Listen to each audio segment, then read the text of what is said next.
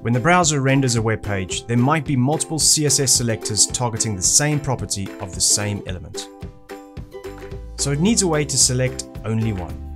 Enter CSS specificity. CSS specificity is the browser's method of calculating which selector is the most specific.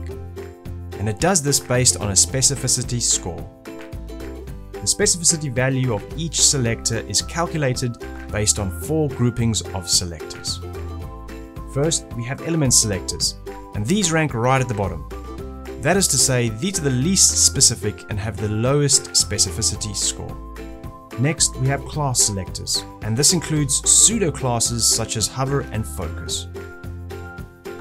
Following that, we have ID selectors,